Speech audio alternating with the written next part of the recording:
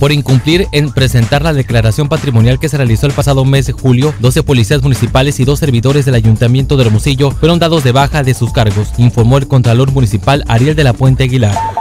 Son cerca de 2.400 servidores públicos obligados a presentar eh, la declaración de situación patrimonial.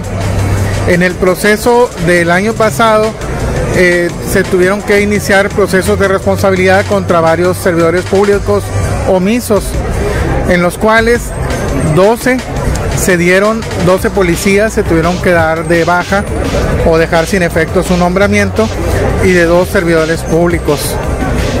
Ese fue parte de las, de las sanciones. Y en otros casos, eh, con algún tipo de justificación, se dieron otro tipo de sanciones. La ley eh, habla de que son, se queda sin efecto su nombramiento y entonces usted, eh, pues la posibilidad de ser recontratados podría darse.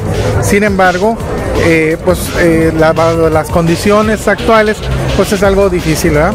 Pues es un proceso, tiene que pasar un proceso de capacitación, de selección.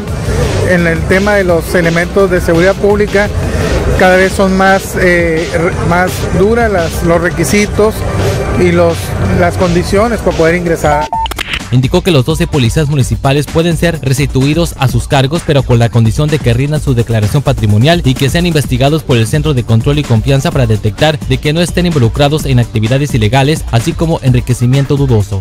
Para unirradionoticias.com, Alan Rubio.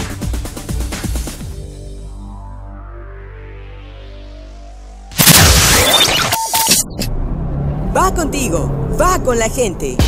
Bus Sonora, tu nuevo sistema de transporte en cuatro puntos cardinales. 1. Es para la gente. 2. Es un transporte bien administrado. 3. Organizado y vigilado vía satélite. 4. Y que no cuesta más. Bus Sonora, un servicio eficiente, cómodo, seguro y puntual. Como lo quiere la gente. Gobierno del Estado de Sonora.